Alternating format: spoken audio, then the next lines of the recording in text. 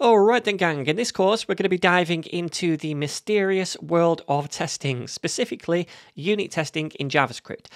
Now, testing in general, I think, is one of those topics that a lot of new web developers tend to put off learning for a long, long time because maybe they think it's boring or too complex or it just gets in the way, or maybe it's something they'll never really need anyway. I was firmly in that camp when I started out, and it took me years to learn how to test my code for all of those reasons. But actually, it's not boring, it doesn't have to be hard, and in the age of AI and agentic coding, I would argue that learning how to test your code properly is more important than ever, especially when you're not the one writing all the code yourself anymore. On top of that, learning how to write tests, in my opinion, will most likely make you a better programmer because it forces you to think about how your code base and functions are structured, about edge cases, what could go wrong with your code, or how it might be better refactored, and so on. So, regardless of how often you think you might need to test your code in the future, learning how to test is nearly always going to benefit you as a developer. Now, when it comes to testing your applications, there's different types of tests that we can write. We can write end to end tests, which are broad tests that kind of simulate user behavior and interaction with the application, like filling out forms, maybe, or navigating pages. We can write integration tests, which allow us to test how different parts of the application work together, like maybe how different modules or functions integrate with one another.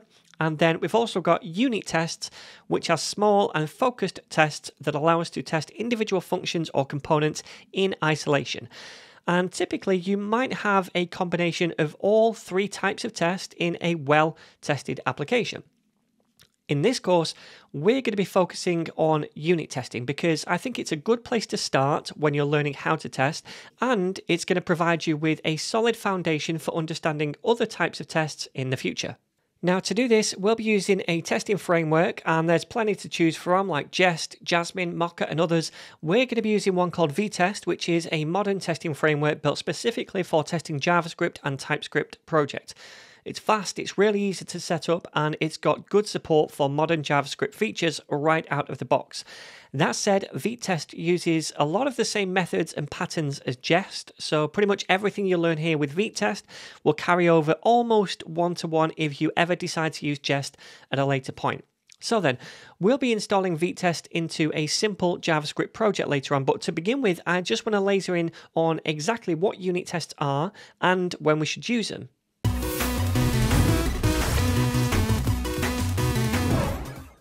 So, in simple terms, a unit test is just a small piece of code that tests a specific function or module in your application.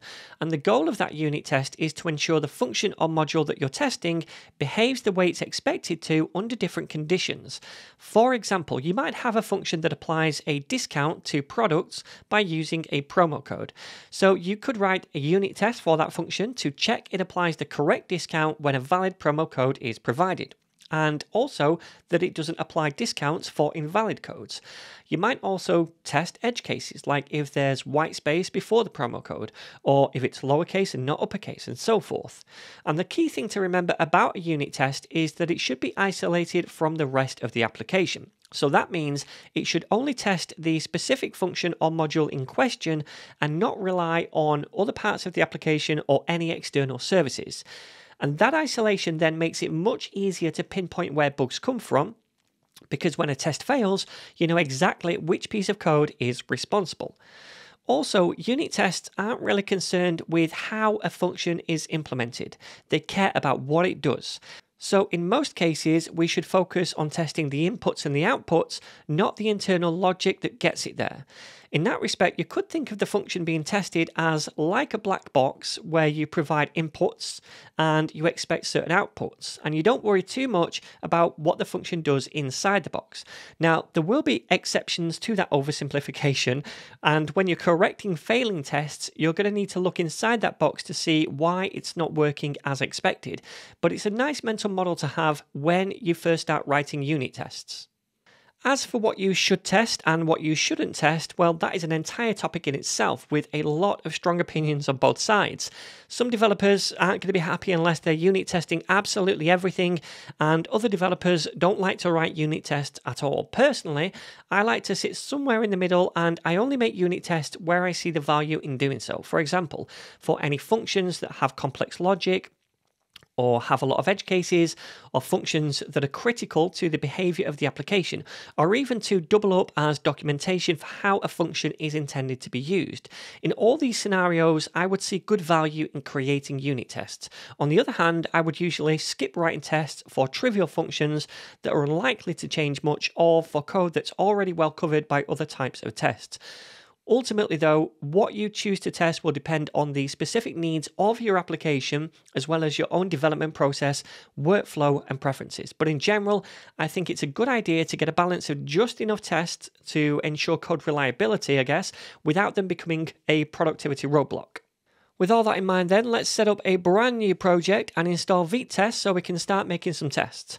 So, I've got a folder open inside VS Code called Vitest Unit Testing, and the only thing inside this is a source folder where all the source code we'll actually be testing is going to live. We'll also create a test folder later when we start making test files. The first thing we need to do though is create a new package.json file to manage the project dependencies, and we'll also be registering the test scripts in here later as well. Now, to make a package file, we'll be using npm, the Node Package Manager, and for that reason, you're going to have to have Node.js installed on your computer. If you don't have Node installed, you can download it and install it easily from nodejs.org. If you don't know whether you have it installed, you can just open a terminal, which you can do by toggling this icon up here in VS Code, and then run the command node, then a space, and then hyphen v, and then we can press enter. If it is installed, then you should get a version number printed back. Now, to use Vitest, you're going to need Node version 18, I think it is, or above. So if you see a version less than this, you will need to download and install a more recent version from that same nodejs.org website.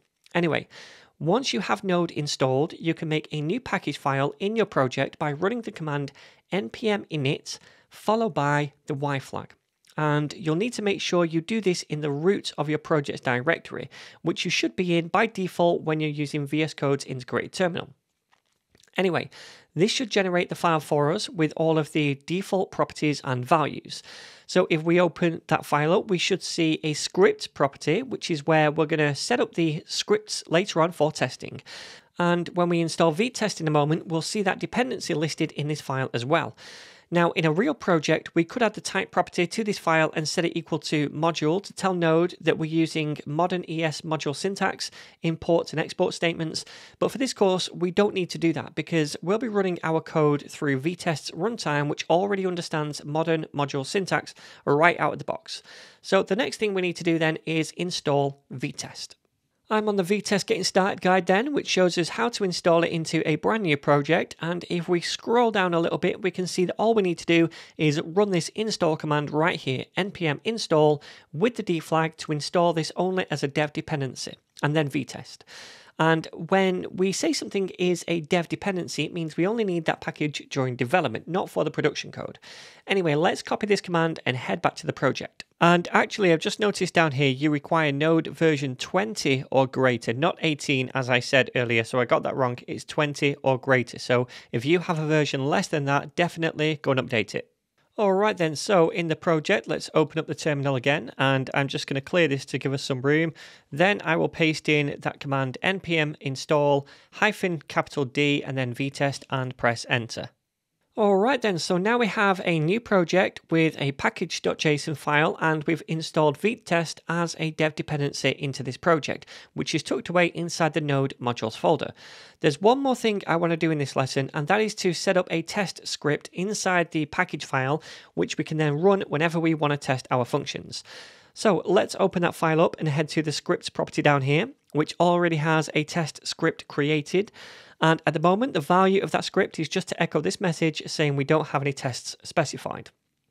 So we just need to replace that with the command Vitest.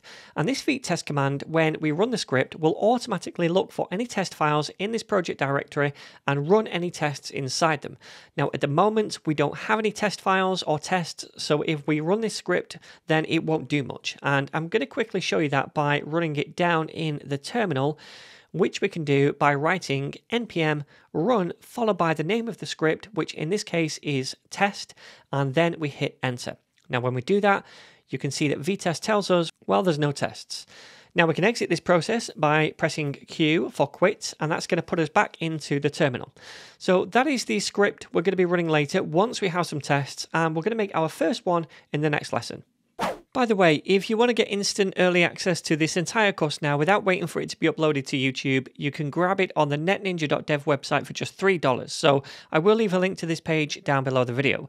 You can also get it as part of this testing bundle I've released, which includes a brand new React testing course as well, not available anywhere else, and that is just $7 for both courses. So again, I'll leave this link below the video. Otherwise, my friends, please don't forget to like the video, share, and subscribe to the channel, and I'm going to see you in the next lesson.